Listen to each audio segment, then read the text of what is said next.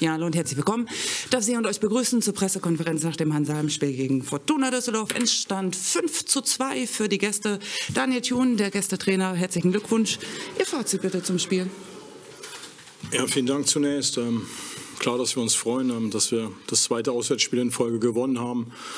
Ähm, die erste Stunde war aus meiner Sicht von meiner Mannschaft nahezu ein perfekten Match. Ich fand, dass wir alles das, was unsere Mannschaft auch schon angedeutet hat, auf den Platz gebracht haben. Wir haben eine brutale Energie gegen den Ball gehabt, vom Anlaufverhalten her.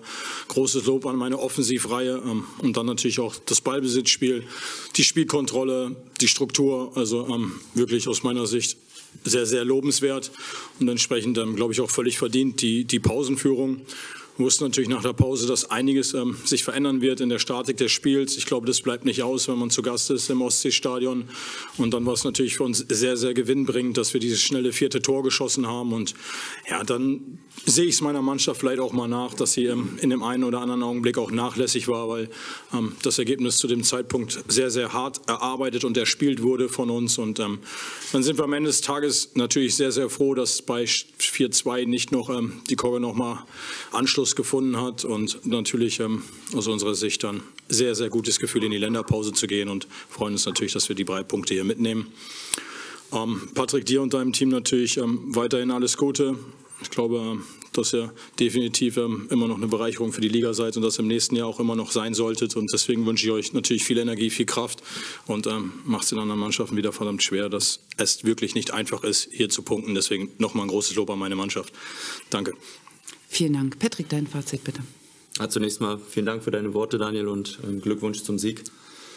Ja, ich bin natürlich äh, frustriert und ein, auch ein Stück weit sehr sauer, weil so wie wir die ersten 60 Minuten aufgetreten sind, ich glaube, das ist nicht das, was wir erwartet haben. Wir hatten, wollten eigentlich den Schwung aus dem Hannover-Spiel und äh, auch die Trainingswoche, die wirklich sehr gut gelaufen ist, vor allem aggressiv in den Zweikämpfen, viel in der Defensive gearbeitet, wirklich stabil gestanden und ähm, so mit einem guten Gefühl ins Spiel gegangen und ab der ersten Minute ähm, ging es dann so ein, ein, Stück weit los, schon mit dem ersten Ball beim Anstoß, dass wir den unserem Innenverteidiger auf seinen schwachen Fuß spielen, der Ball schon nicht zustande kommt. Also da muss man auch sagen, fehlen einem dann als Trainer draußen auch so ein Stück weit die Worte dann in der Phase, weil ähm, du gibst dir natürlich ein Stück weit oder nimmst dir ein Stück weit die Sicherheit. Dann, wie es Daniel ähm, gesagt hatte, das erste Tor gefallen und ähm, dann hat man gemerkt, dass wir wirklich ähm, ja, ein Stück weit verunsichert durch das Tor äh, gewesen sind, die Köpfe erstmal runtergingen.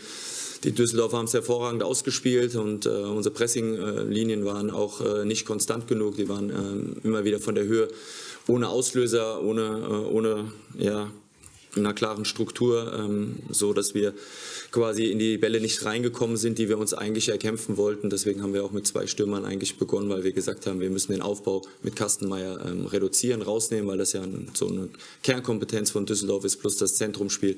Ist aber leider nicht äh, aufgegangen in dem Moment, weil, wie gesagt, so ein Stück weit Verunsicherung reingekommen ist, reingetragen wurde ins Spiel. Die letzten 30 Minuten dann wieder mit den zwei Anschlusstreffern, äh, wo wir auf einmal gesehen haben, dass es geht, wo auf einmal äh, so ein Stück weit ja, die Leichtigkeit wieder zurückgekehrt ist. Und dann kriegen wir natürlich mit dem fünften äh, leider den Deckel drauf, äh, wo wir dann den Gegner auch wieder komplett frei im Strafraum lassen, äh, nicht mehr beim Kopfball dabei sind. Was natürlich auch so nicht gewollt ist, aber äh, letztendlich war es ein verdienter Sieg für Düsseldorf. Und äh, wir müssen einfach gucken, dass wir bei uns bleiben und äh, müssen einfach schauen, dass wir ähm, jeden Spieler da auch in die nötige Aggressivität und in die nötigen Bereiche bringen, so wie es jetzt auch in dem Hannover-Spiel gewesen ist. Und das auf Dauer und in der Konstanz, ähm, dass wir einfach äh, von diesen Tugenden her hier äh, gerade bei Heimspielen ja, unsere Persönlichkeiten bzw. unseren Charakter auf den Platz bringen. Äh, für die Fans tut es mir natürlich auch leid, dass wir ähm, diese fünf Tore hier ertragen mussten, aber so ist der Fußball und es kann sich auch wieder in eine andere Richtung drehen. Für Düsseldorf natürlich weiter alles Gute. Danke. Dankeschön. Gibt es Fragen an die Trainer? Tommy Bastian vom Kicker. Einmal hier vorne, bitte.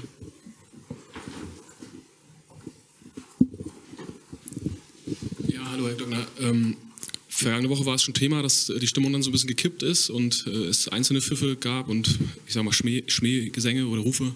Heute war das nochmal deutlicher. Wie, wie haben Sie das wahrgenommen? Im Großen und Ganzen habe ich das äh, natürlich äh, am Ende des Spiels mit wahrgenommen. Während des Spiels bist du so fokussiert, da kriegst du ja relativ wenig mit. Aber ähm, ich habe dafür Verständnis. Also wenn wir 60 Minuten so auftreten, dann hat auch jeder das äh, Recht zu pfeifen. auch wenn es uns nicht gut tut in der Partie und wir uns äh, wünschen würden, dass es äh, natürlich, ähm, ich sage jetzt mal, die Anfeuerungsrufe bzw. die Aufbauphasen vom Publikum mitgetragen werden. Aber man muss das äh, da Verständnis für zeigen, weil wir in der Situation in den ersten 60 Minuten wirklich einfach nicht im Match waren.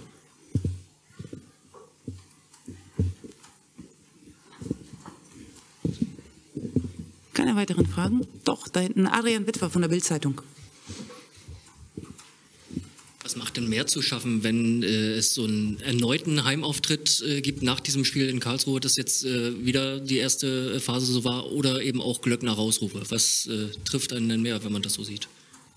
Ich habe immer schon gesagt, es geht ja nicht um eine Person. Im Großen und Ganzen ist es so, dass wir wissen als Trainer, was auf uns zukommt, wenn die Ergebnisse äh, nicht geliefert werden. Es ist ein Ergebnissport und erzählt auch nicht, wie die Spiele zuvor waren oder wie die Gegner heißen.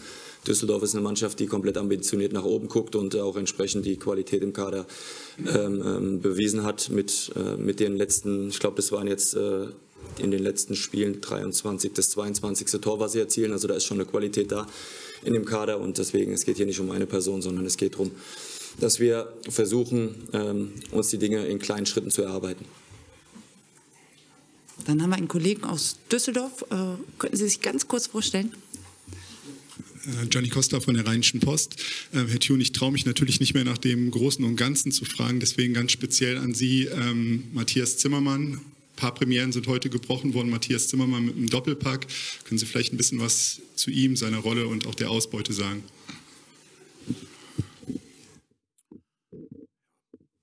Klar, große Freude. Ich habe ihn schon ein bisschen ähm, gekitzelt, da er die Saison ja noch ähm, nicht so viele Torbeteiligungen hat und kein Tor schießt. Ähm, habe ihn darauf hingewiesen, dass die Saison jetzt eine Null werden könnte bei ihm, wenn er kein Tor mehr schießt. Ähm, ich glaube, es war wichtig, dass wir in der vergangenen Woche ähm, die Enttäuschung, die wir hatten, dass wir es sofort ins Gegenteil verkehrt haben. Ich fand, wir hatten eine richtig gute Trainingswoche. Wir haben sehr, sehr vermehrt ähm, dann auch an der Spieleröffnung gearbeitet, die letzte Woche nicht optimal war. Ich fand, heute haben wir es kontrolliert. Wir haben viele Räume geschaffen. Und Matze war ein Teil davon. Wir haben in der vergangenen Woche, das ist dann wieder Glück, wenn der Trainer eine Individualanalyse macht und mit dem Spieler eine halbe Stunde zusammensitzt und der schlägt dann so zu, dann sage ich, okay, dann hat es geholfen. Zwingt mich natürlich jetzt jede Woche mit dem zu sitzen, was nicht ganz so spaßig ist. Aber ähm, wenn das dann zählt, dann ist es natürlich gut. Und äh, wenn er einen Doppelpack macht, ja, freut man sich umso mehr. Ein bisschen Glück beim ersten habe ich auch gesehen. Da hat noch jemand seinen Kopf reingehalten. Und das sind die Momente vielleicht gerade, die ähm, vielleicht gegen Hansa Rostock sprechen und für uns. Und vielleicht dann auch für Matze Zimmermann. Und genau das, was Sie gesagt haben. Ähm, wir reduzieren es auf Spiele. Heute ein Fußballspiel gewonnen, drei Punkte mit nach Hause. Ähm, freue ich mich drüber. Wir vorne noch einen Kollegen. Jano Gier vom Express. Äh, Herr Thun, selbst obwohl Sie zwischenzeitlich komfortabel geführt haben, haben Sie sich für, finde ich, späte Wechsel entschieden. Was sind da Ihre Beweggründe für? Man ja immer unterschiedliche Beweggründe. Also ähm, wenn Sie mir jedes Mal versprechen, dass das Spiel besser wird, wenn ich auswechsel, dann würde ich das machen. Ähm, ich fand, dass alle Jungs noch drin waren. Ich glaube, dass es auch nichts mit den Wechseln zu tun hatte. Wenn man das erste Tor sieht, ähm, Mickey pennt bei dem Freistoß schnell ausgeführt. Die anderen beiden pennen auch drin, weil sie sich noch über die Spieleröffnung unterhalten. So ehrlich muss man auch sein. Und beim zweiten Tor stehen wir dann halt auch oder haben einfach einen Ballverlust im Mittelfeld. Da war, glaube ich, Schinter auch dran beteiligt, der gerade frisch im Spiel war. Deswegen hat es nichts mit Wechseln zu tun. Und nochmal, ich wusste, dass hier ein bisschen was auf uns zukommt, dass immer wieder angelaufen wird. Diese zwei Momente waren da mit den Gegentoren, wo es unruhig werden kann. Und dann braucht man Stabilität und die wollte ich nicht brechen mit irgendwelchen Wechseln, weil nochmal, ich fand, dass die Jungs echt super drin waren, die zehn, die auf dem Platz waren. Gut, dann haben wir noch eine Nachfrage von der Rheinischen Post.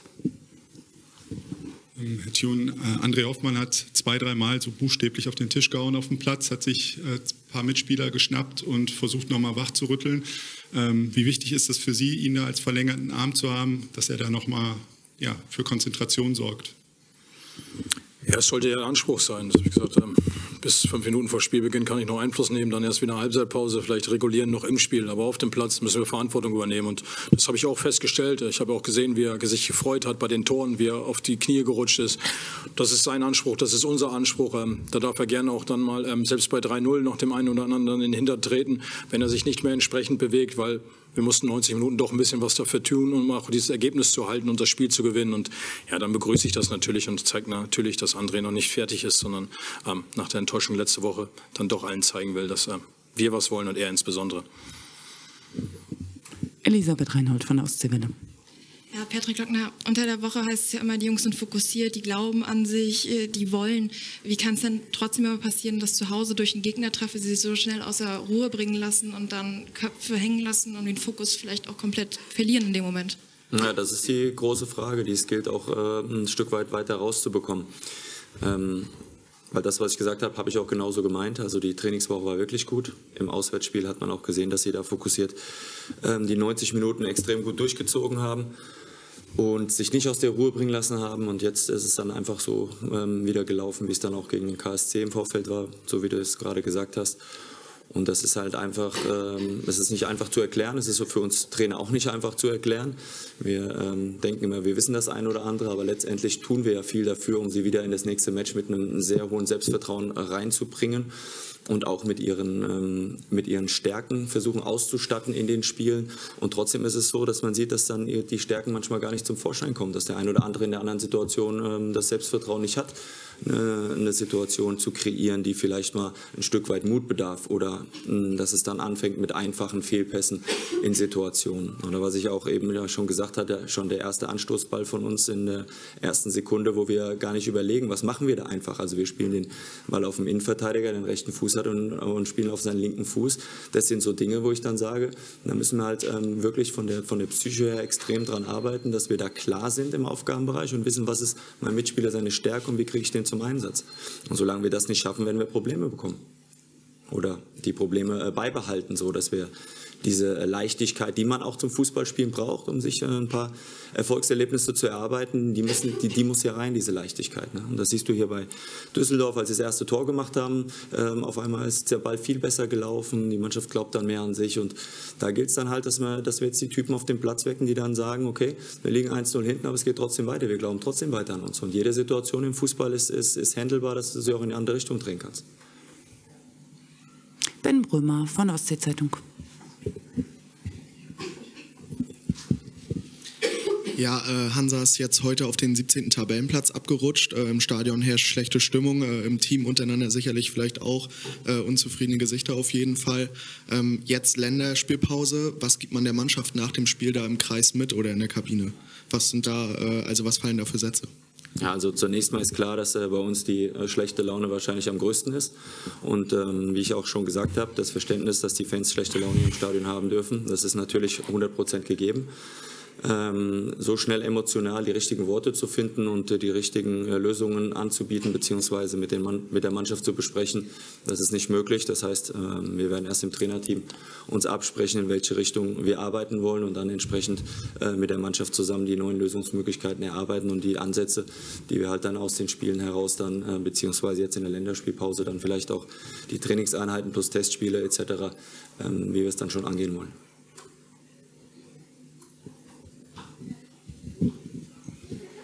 Sie haben es gerade schon mal angeschnitten. Äh, sind jetzt Testspiele geplant? Eins, mehrere? Können Sie dazu schon was sagen?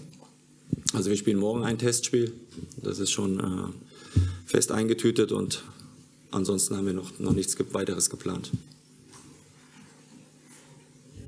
Gut, dann haben wir es. Dann herzlichen Dank. Ganz hinten links. Ach so, das habe ich nicht gesehen. War ein bisschen zaghaft, ein bisschen.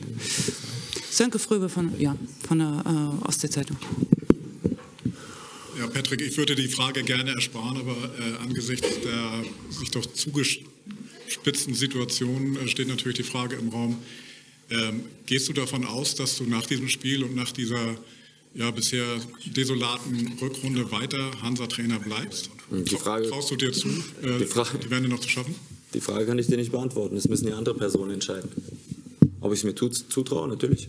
Also Dafür bin ich Trainer, dafür habe ich auch das äh, Selbstbewusstsein, um, um Dinge in die, in die Wege zu leiten. Die Situation ist ja seit Anfang an schwer und das, das wussten wir ja auch. Und wie gesagt, die Frage kann ich leider nicht beantworten. Gut. Dann haben wir nochmal Tommy Bastian. Einmal hier vorne. Vielen Dank. Die Kollegen aus Düsseldorf sind sehr behilflich. Ja, die meisten Fragen, denke ich, wurden jetzt gestellt, aber eine würde ich dann doch nochmal noch zurückgehen, äh, auch, was auch bei Entune jetzt gerade Thema war, Führungsspieler. Ähm, ich denke, davon hat man nicht so viele im Team ähm, und die sind dann extrem wichtig auf dem Platz, eben um dann auf den Platz zu lenken. Können Sie vielleicht mal sagen, warum Sie sich jetzt entschieden haben, Damian draußen zu lassen, wo Sie ja vorher auch mal gesagt haben, der ist gesetzt und aus meiner Sicht ist das so jemand, der dann auch wenn er Fehler macht, die machen alle, äh, der dann halt das Team führt und äh, taktisch Anweisungen gibt. Und mhm. Also der Hintergrund war gewesen, dass wir mit Lukas Fröde schon einen strategischen Ausfall auf der 6 hatten und wir mit der Leistung äh, der Abwehrkette in Hannover sehr zufrieden gewesen sind. Im Vorfeld haben wir von der äh, Abwehrreihe jetzt auch die eine oder andere Situation gehabt, die jetzt nicht optimal gelöst war. Und deswegen haben wir gesagt, es ist wichtig, dass die Sicherheit bestehen bleibt. Also würdest du jetzt einen Sechser austauschen und einen Innenverteidiger, hast du wahrscheinlich der Struktur mehr geschadet, als ihr gut getan hat. Und deswegen haben wir gesagt, die Abwehr hat ihren Job gut gemacht in Hannover. Plus der strategische Ausfall von Lukas äh, Fröde auf der Sechserposition hat uns dazu bewegt, dass wir gesagt haben, wir bleiben hinten gleich, dass die Mannschaft eingespielter wirkt und ähm, auch genau ihre Abläufe im Kopf hat. Und äh, das war eigentlich so der Hintergrund würde ich, würde ich trotzdem nochmal nachhaken, wäre es nicht gerade dann wichtig gewesen, weil äh, Luki ist ja auch ein Spieler, der kommuniziert und die Mannschaft anleitet, äh, zusammen mit äh, Damian, äh, Damian dann eben spielen zu lassen? Ja, wie gesagt, wir wollten ähm, die Sicherheit hinten in der Abwehrreihe bestehen lassen, weil es gab keinen Grund, die Abwehr auseinanderzureißen, wenn sie einen guten Job macht. Letzte Frage von mir. Ähm, sie haben, der Kollege hat es vorhin gefragt, was macht mehr mit Ihnen, die Stimmung oder die fehlende, fehlenden Ergebnisse, fehlende Struktur? Äh, die Struktur haben Sie ja selbst angesprochen, hat dann auch nicht gestimmt. Ähm, wie, wie gehen Sie damit um, dass, dass Sie Dinge besprechen, der Mannschaft aufzeigen in, in Videokonferenzen und Einzelgesprächen und dann passiert das, was Sie selbst beschrieben haben, dann ist der Anstoß schon nicht nach Plan. Ja, leider ist es so. Es geht ja miteinander über. Ne? Also Ergebnisse sind das, was uns jetzt natürlich beunruhigt, das ist ganz klar, aber auch ähm, die Art und Weise der ersten 60 Minuten, wo wir auch klein die Kerbe reinhauen. Und Sie sehen ja, dass ich jetzt am heutigen Tag das auch sehr deutlich sage, dass mir das überhaupt gar nicht gefallen hat. Und das wird die Mannschaft dann auch in den nächsten Tagen, aber wie gesagt, so ähm, ähm, vermittelt bekommen, dass es ihr auch weiterhilft. Und es bringt jetzt nichts da emotional hier irgendwie was rauszuhauen oder das, was die Leute hören wollen, sondern wir machen das so, wie wir es wie äh, für richtig halten. Und da geht es halt erstmal darum, eine Nacht drüber zu schlafen und dann zu gucken, äh, was sind wirklich die Parameter, die, an denen wir arbeiten müssen. So, dann sind jetzt tatsächlich alle Fragen beantwortet. Dann wünschen wir Daniel Thun und Fortuna Düsseldorf alles Gute, kommt gut nach Hause. Äh, ja, und besonderer Dank natürlich an alle Zuschauer, die heute den Weg ins Ostseestadion äh, gefunden haben. Tschüss. Dankeschön. Vielen Dank.